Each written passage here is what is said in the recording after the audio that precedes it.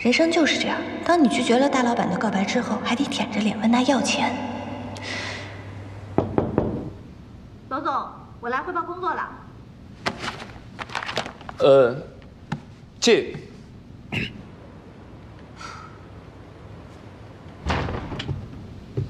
小罗总好，哎，哎，老。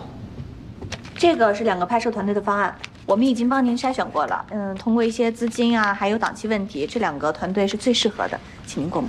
好，那既然你们接触过，觉得哪个更适合呀？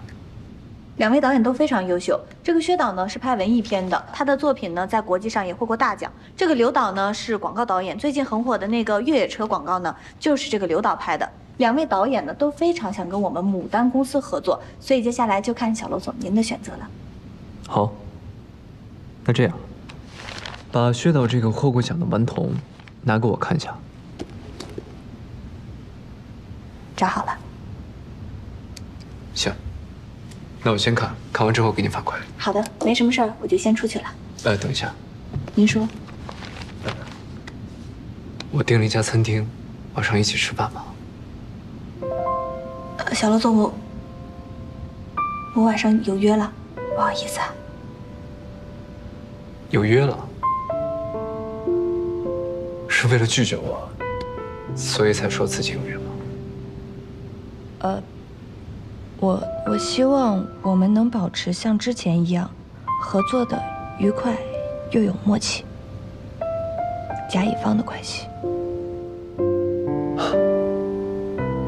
作为甲乙方，您别误会我，我我真的有约了。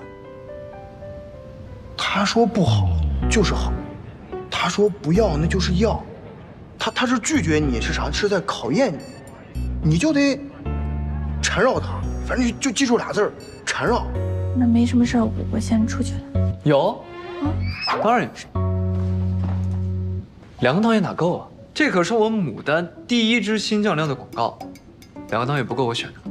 既然是让我选，就得多来几个啊！准备好了之后再给我拿过来。好的，我们内部再去筛选一下。那我先出去了。去吧。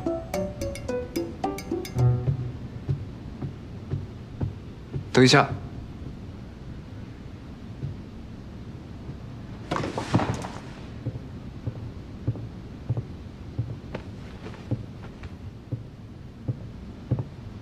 包拿下来。